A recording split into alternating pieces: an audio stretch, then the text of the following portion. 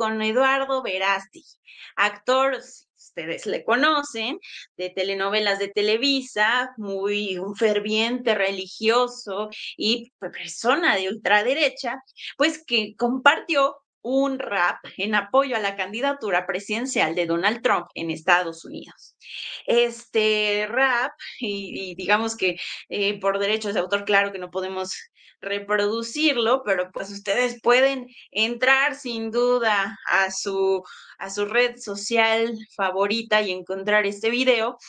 eh, pues es un video de acaso 35 segundos en donde llame al voto, llama al voto latino a favor pues del expresidente, ahora pues candidato por el Partido Republicano. Eh, dice unas frases como soy Eduardo Verástegui, los latinos estamos con Trump. Inicia este videoclip videoclip y después repite frases como latinos con Trump, Trump again, o sea, Trump otra vez,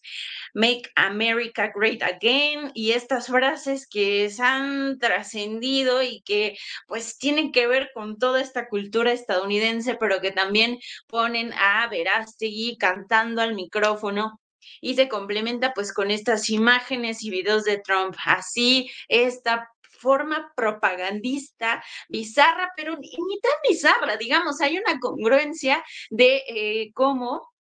pues Eduardo Verástegui en, en, el anterior mandato del presidente Donald Trump, pues ya formó parte, ¿no? Estuvo en Casa Blanca, en la Casa Blanca, fue uno de los asesores y digamos que ahorita también en sus redes sociales y en, muchas cosas también discursivas de él, pues se nota esta presencia y, lo dice y lo ha dicho en muchos momentos, tanto Trump como Verástegui. El objetivo, pues, es, eh, digamos, fortalecer este movimiento, fortalecer y también la figura del propio candidato, que fue, que intentó convertirse, digamos, en candidato presidencial independiente en las pasadas elecciones y que pues abrió este registro a su organización denominada Movimiento Viva México, la que tuvo como objetivo pues, convertirse en un partido político pues en 2025 que en palabras de Verástegui, pues reflejan una verdadera derecha en el país. ¿Y, por qué digo que es importante hacer esta revisión y, por qué les traemos esta nota? Pues porque